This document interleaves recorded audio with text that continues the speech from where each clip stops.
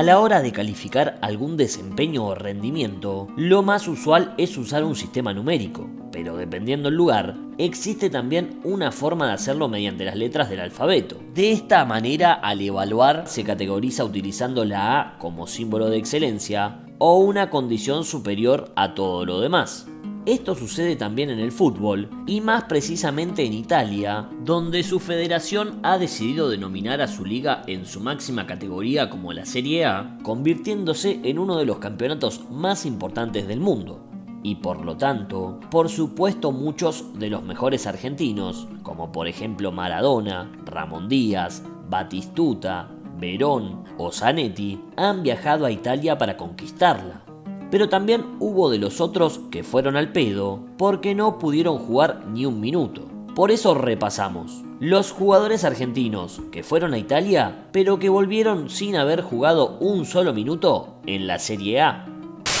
Y vos al igual que ellos podés posar con la camiseta y no jugar nunca, comprándola en FYY Game, la tienda deportiva online donde también encontrás todo tipo de ropa deportiva y botines de fútbol. Comprá en serie aprovechando el 5% de descuento, ingresando el código que está en la descripción.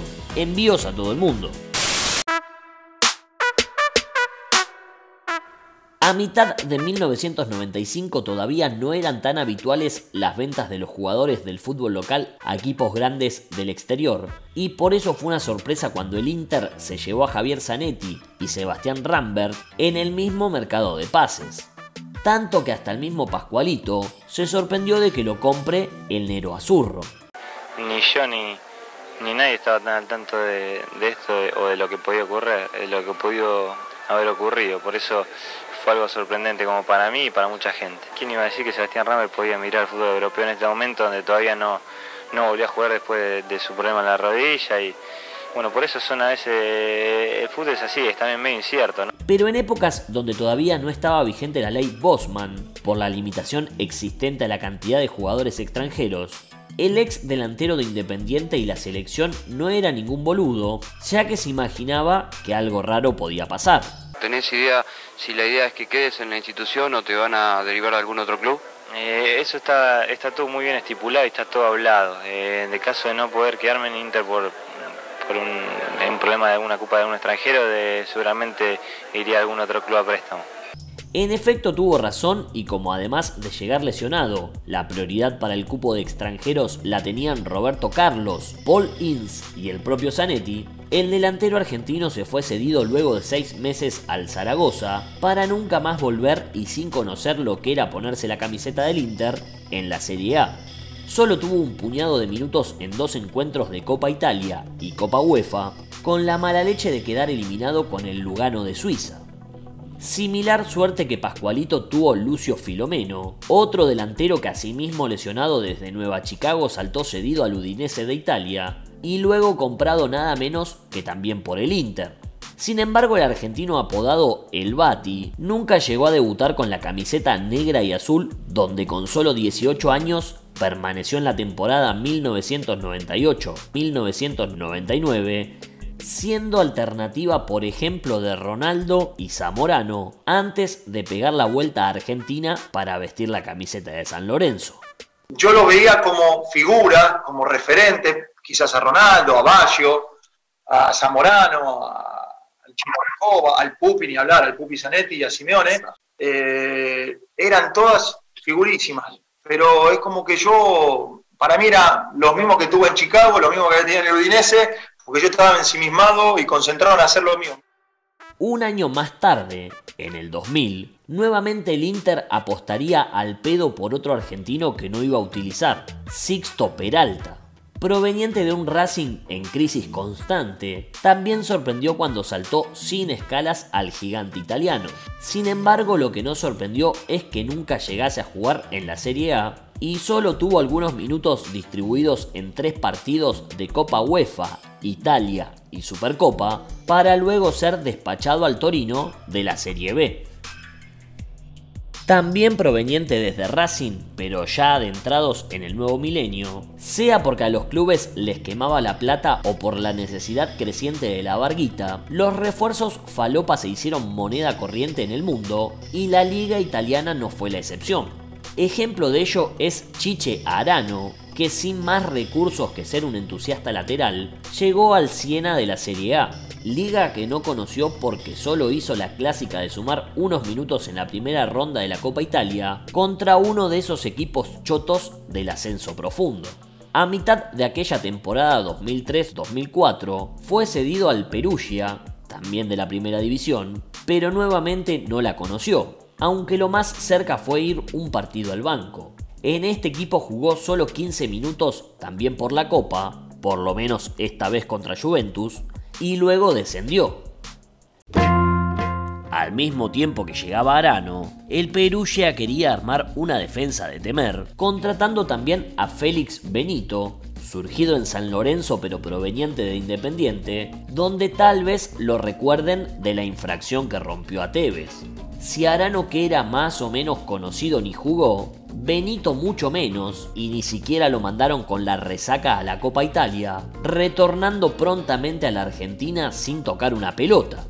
Lo mismo hizo Walter García, pero con el doble mérito de no jugar ni un minuto con la camiseta del Catania, porque en una era donde el club italiano se convirtió en una especie de sucursal argentina, el defensor central fue el único de un listado de más de 20 jugadores nacidos en estas tierras que nunca llegó a ponerse la camiseta del club de Sicilia los domingos.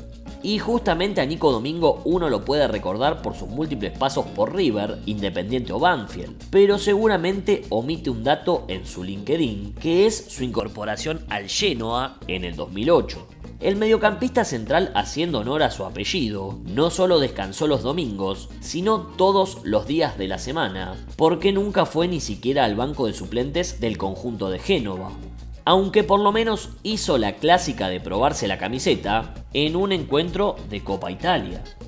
Por su parte, en el 2010 se ponía la camiseta de Boca por primera vez Joel Acosta, una de las clásicas joyas de la cantera Ceneice, que al no encontrar más oportunidades fue cedido al Siena de la primera división italiana en busca de continuidad. Si la hubiese encontrado lógicamente no formaría parte de este video, por lo tanto Acosta nunca llegó a jugar un partido y al final del préstamo, su siguiente destino fue Almirante Brown en la B Nacional. Pero el Siena no claudicó en la búsqueda de jugadores argentinos y en la temporada siguiente incorporó a Matías Martínez, no el hombre negativo, sino el defensor proveniente de Racing. Acorde a su nombre, su performance no fue positiva y nunca llegó a disputar un partido en Italia. Encima, su equipo descendió. Pero no se fue a la Serie B solo, porque en aquella temporada 2012-2013, otro de los equipos que bajó fue el Palermo, quien a mitad de ese torneo para revertir la mala situación pensó en Mauricio Sperduti como una buena alternativa. Si bien no salvó la categoría, tampoco pudimos ver si hubiese cambiado algo con el ex Newells, porque durante su estadía en Italia ni siquiera probó un banco de suplentes y después su carrera fue cuesta abajo tras no disputar ni un encuentro.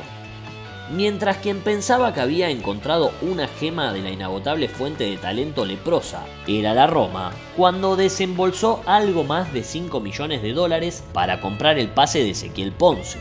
Al pedo porque después de múltiples sesiones nunca llegó a debutar en el fútbol italiano hasta que fue vendido al Spartak de Moscú por una cifra menor en lo que fue sin dudas un mal negocio. Y gran negocio sin pruebas pero tampoco dudas es el que armó Angelici para poder repatriar a Carlos Tevez a Boca, en una extraña operación, un punto para cerrar el acuerdo era la sesión de Guido Badalá, una supuesta promesa de las inferiores del club, nada menos que a la Juventus. Pero el juvenil delantero nunca fue tenido en cuenta ni para integrar el banco de suplentes, aunque por lo menos recién llegado a Turín viajó con el plantel a China para disputar la Supercopa que terminó ganando la Vecchia Signora, con la cual Badalá se sacó esta foto. Al volver a Italia fue bajado al plantel de reserva y un año más tarde devuelto a Argentina. Misma sospecha de aquella gestión del Tano despertó la venta de Facundo Colidio en unos 8 millones de euros al Inter, que si de verdad fue todo bon, todo legal, hay que sacarse el sombrero porque nunca llegó a disputar un minuto en el fútbol italiano y lógicamente fue cedido inmediatamente a cualquier lado. Otro jugador de Boca que también viajaba al pedo a Italia en el 2015 era Emanuel Insúa, más conocido como el más malo de los hermanos. El lateral izquierdo luego de ser cedido al Granada explotó y fue comprado por el Udinese, pero nunca lo utilizó en la liga y solo vio acción en un partido de Copa Italia antes de dejarlo ir y al que se le fueron los dientes después de trabar con la cabeza fue a Gaspar Iñiguez, que saltó a la fama tras esta icónica jugada. Años más tarde nuevamente el Udinese se fijó en un jugador argentino y gastó casi un millón y medio de dólares en su contratación. Otra vez al pedo, porque además de no jugar nunca, fue cedido entre otros clubes al Carpi, también de la Serie A, y donde el ex argentino tampoco nunca jugó. De todas maneras, este es un viejo modus operandi del Udinese, conocido por incorporar jóvenes promesas para después romperle el orto con el precio al equipo grande que lo quiere comprar, ya consagrado. Pero a veces puede fallar como el caso de Federico Laurito, otra eterna promesa de gol y a su vez eternamente cedido, sin nunca jugar un partido en Italia. Hermosa experiencia, obviamente eh, no la aproveché al máximo porque era muy joven quizá no, entendía dónde estaba siendo tan joven.